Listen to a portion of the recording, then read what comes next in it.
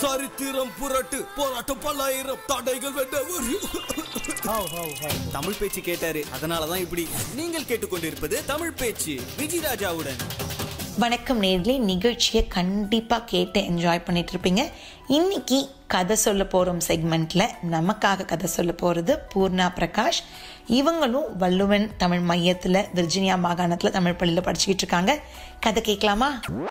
கதை சொல்ல போற ராஜா கதையா காக்கா கதையா? இது விஜயராஜா கதை. விஜயராஜா கதை. என் பேர் பூர்ணா பிரகாஷ். நான் வெர்ஜீனியாவில் உள்ள வள்ளுவன் தமிழ் பள்ளியில் நிலை ஐந்து படிக்கிறேன். நான் இப்போ உங்களுக்கு ஒரு தத்துவம் கதை சொல்ல போகிறேன். ஒரு நாள் ஒரு அப்பாவும் அவர் மகனும் ஒரு மலைப்பாதை வழியா நடந்து வந்தாங்க. அப்போ அந்த பையன் ஒரு கல்லை தடக்கி கீழே விழுந்தான். நமக்கு எல்லாம் வலிச்சதுன்னா உடனே அம்மானு தான் கத்துறோம்.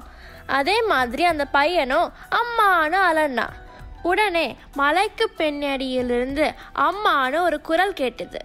அந்த பையன் தன்னை யாரோ கிண்டல் செய்வதாக நினைத்தான். யார் நீ? அப்படின்னு குரல் வந்து திசை பார்த்து கத்தினான். அந்த குரலும் யார் நீன்னு கேட்டது. பையனுக்கு வந்தது ப- பயங்கர கோபம். அப்பா அது யாருன்னு கேட்டான் அதுக்கு அவனுடைய அப்பா சொன்னாரு தம்பி இதுக்கு பேரு எதிரொலி. இதுல நம்ம வாழ்க்கையோட தத்துவம் அடங்கியிருக்கு. நீ நல்லது பேசினா உனக்கு நல்லது க- கேட்கும் நீ தீமையா பேசினா உனக்கு தீமையா கேட்கும் வாழ்க்கையும் அப்படிதான். தீமையோ நன்மையோ நம்முடைய செயல்கள் தான் காரணம். மற்றவர் அல்ல. இதைதான் கனியின் பூங்குன்றனார் தீதும் நன்றும் பிறர் தரவாரா என்று சொல்லியிருக்கார். அப்படின்னு அப்பா சொன்னார். பாத்தீங்களா?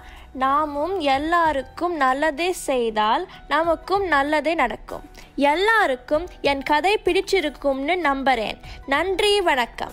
இன்னைக்கு நம்ம நிகழ்ச்சியில் வள்ளுவன் தமிழ் மையத்தை சேர்ந்த பெரியவங்களும் குழந்தைங்களும் கலந்துக்கிட்டாங்க. ஒரு பானை சோத்துக்கு ஒரு சோறு பதம் அப்படின்னு சொல்லுவாங்க இல்லைங்களா?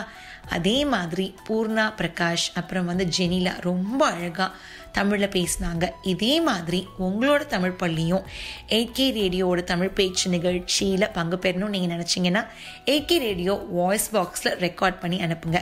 மற்றதெல்லாம் நாங்கள் பார்த்துக்குறோம் அது மட்டும் இல்லாமல் நிகழ்ச்சியை பற்றின உங்களோட கமெண்ட்ஸ் ஃபீட்பேக் சஜஷன்ஸ் எதுவாக இருந்தாலும் மறக்காமல் ஏகே ரேடியோ வாய்ஸ் பாக்ஸை ரெக்கார்ட் பண்ணி அனுப்புங்க. இல்லையா டெக்ஸ்ட் மெசேஜும் பண்ணலாம். மீண்டும் அடுத்த வாரம் இதே நேரம் இதே நிகழ்ச்சியில் உங்கள் அனைவரையும் சந்திக்கும் வரை உங்களிடமிருந்து விடைபெறுவது உங்கள் விஜய் ராஜா.